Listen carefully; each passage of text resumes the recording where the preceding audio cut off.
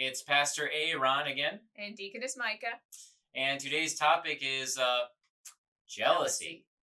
Jealousy is that emotion that gets the best of me. It makes me angry at everyone I see. Oh, jealousy hanging over me. Ha ha! Yeah, jealousy, jealousy, jealousy, jealousy. That green-eyed monster. Uh, pastors and deaconesses are not immune to that green-eyed monster No, we are not. known as jealousy. Mhm. Mhm. Yeah, I mean there are lots of example I examples I could give uh, about jealousy, you know, Mhm. invading my life. And mine. Yep. Uh, one one example I will give is during Holy Week. Every every Holy Week, I mean, on Facebook, we'll have you know these pastors. Man, these pastors that will post on Tuesday of Holy Week. All of my sermons are done. I, on the other hand, did not even start one yet, and I get a little jealous. hmm I do. Mhm.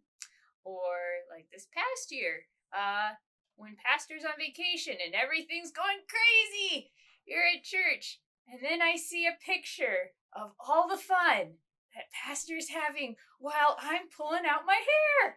Oh no! That yeah, uh, a certain monster starts raising its face, and yeah, not a pretty time. Yeah, yeah. Jealousy is uh, something that every single person on the face of this earth deals with, Mm-hmm. maybe on a daily basis.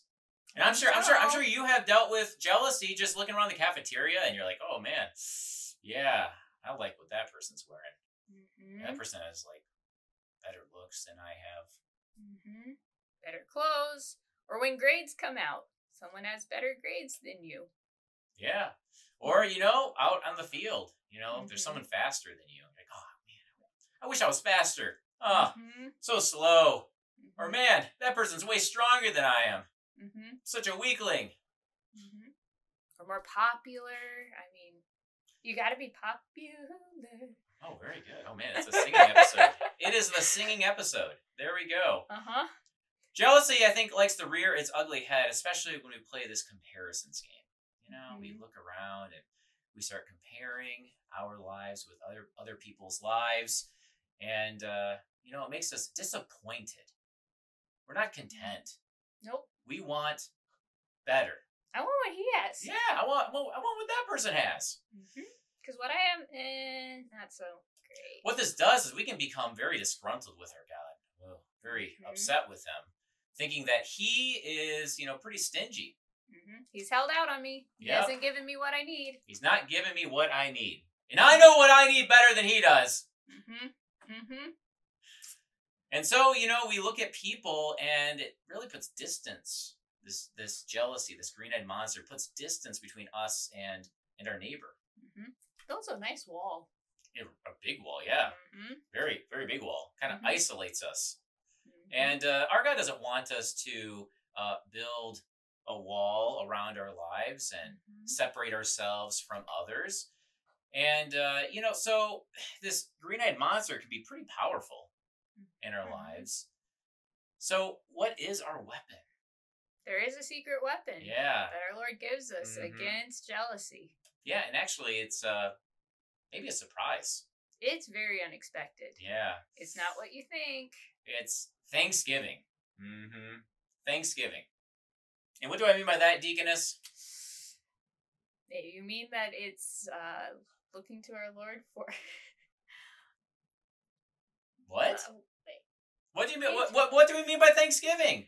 The By prayer going- of Thanksgiving. What do we mean by that? That is the secret weapon. That is what we use to lampoon that green eyed Mhm, monster. mhm. It's looking to our Lord and seeing that every single thing in our life that we have is from Him. Well, instead of And- getting jealous that that person has maybe something I want, we come alongside that person in our prayers, right? And do and we say, Thank you, God, for giving so and so this. Or thank you, God, for giving Pastor this great vacation that I got to see. Thank you for uh, helping these pastors get these sermons written. and most of the time, people don't even know we're jealous about what they have. Mm-hmm. And so this is actually a, kind of a secret agent sort of life. We are Mhm. secret thanks givers Mm-hmm. on the field, in the cafeteria, on the streets, in our homes. in our Mhm. congregations. We get to play out this life of being secret thanksgivers. So instead of getting uh, jealous and complaining, we actually get to uh, start Thanksgiving, Thanksgiving. and have and it's funny how as those Thanksgivings continue to rise, what goes down? yeah our complaints, Mm-hmm. our anger, Mm-hmm. you know, just us being discontent. Mm-hmm. It's kind of like uh, the Grinch who stole Christmas. Our envy, our jealousy shrinks our hearts, but then uh, with Thanksgiving, our Lord is keeps opening our hearts, so then they're bigger and bigger and bigger and bigger. Just getting to see more and more what our Lord is giving to the people around us and to us Yeah. through them, or giving to us to share with others it just starts making our eyes explode. Our eyes keep getting bigger. While we- the green eyed yeah. monster's eyes keep getting smaller. Yeah, exactly. That's a really good example. Yeah, I like that. I like that. I like that.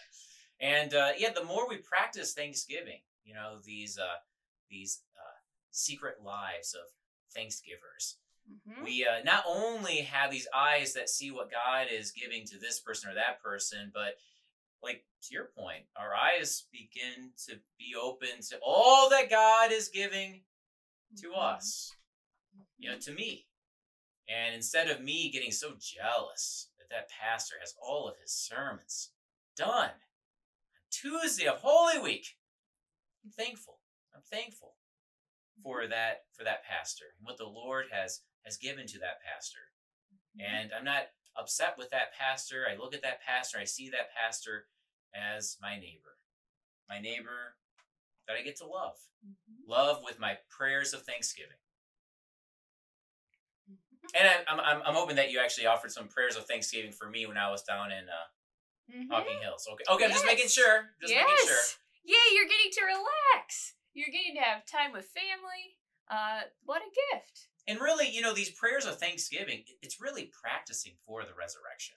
Mm-hmm. Because the only sacrifice that we will have in the age to come, the new heavens and the new earth, is the sacrifice of thanksgiving because everything, absolutely everything, will be G I F T.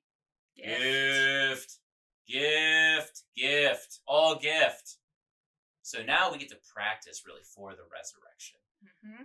by seeing what the Lord has blessed this person with. We say, Thank you, God, for that person. Thank you, God. We are practicing for the new creation Mm-hmm. Here in time. here in time. Mm-hmm. Yep. How Mhm. beautiful is that? So happy offering up those prayers of thanksgiving and lampooning that green eyed monster. All the darts. Yeah, All yeah. the darts. exactly. All the darts. Yeah. so, dear friends, uh, by his wounds. We are healed. Until next time. See you then. Bye bye. Bye.